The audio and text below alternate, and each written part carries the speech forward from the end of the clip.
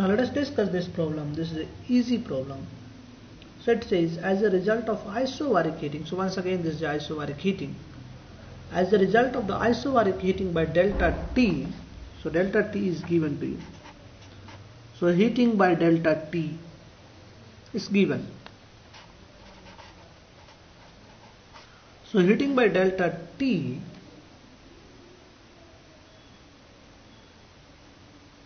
one mole of certain ideal gas.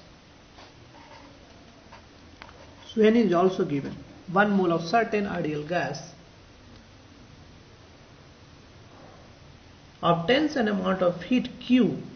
So the heat that is given so delta Q is given to you. So delta Q is Q. So heat obtained once again this is a plus sign because heat obtains by the gas. Find the work performed by the gas and the increment in internal energy and the value of gamma. So you have to also find what is the value of gamma for this case. You have to find what is the work performed that is dW and you have to find what is the change in internal energy for this process dU. So there are three things that you have to find.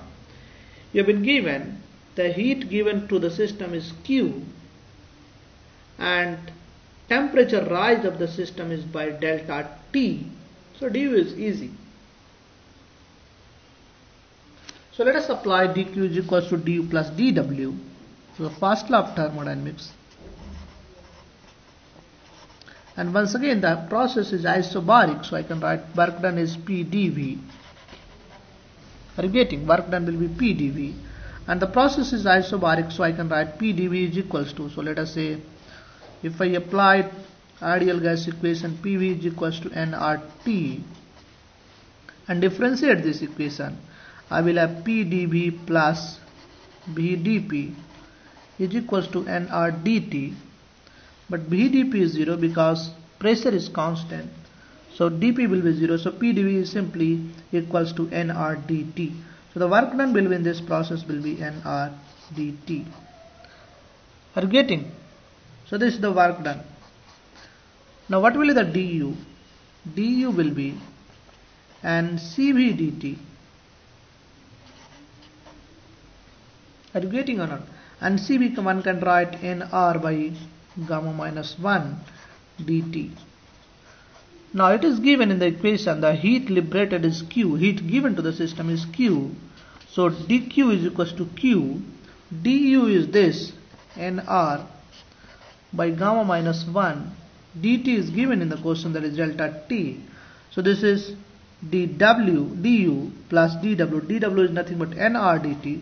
So nr dt is delta t. So from here if you take nr dt common, so you will have nr delta t if you take common, so you will have 1 plus gamma minus 1, so simply 1 by gamma minus 1. Are you getting or not? So from here you can write gamma minus 1. This is equals to nr dt by q. Are you getting? Then you have to add plus 1 also. So you will have gamma is equals to this side goes plus 1 so you will have nr dt by q plus 1 so this will be simply nr delta t plus q by q. So this is the value of gamma. Check yourself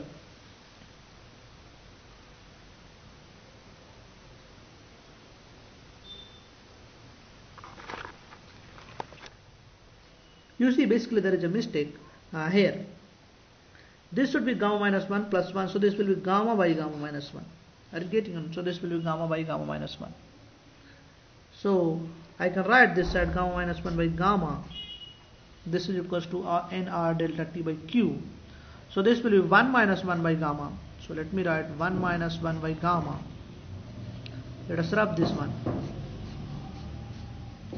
So this will be 1 by 1 minus gamma this equals to nr delta t by q.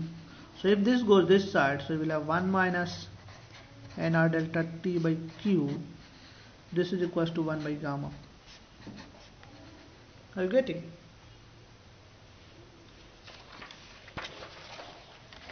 Now if I go further so what we can write is I think I can use the next page. We have written this one. So 1 minus nr delta t by q is equals to 1 minus 1 by gamma. So q minus nr delta t by q is equals to 1 by gamma.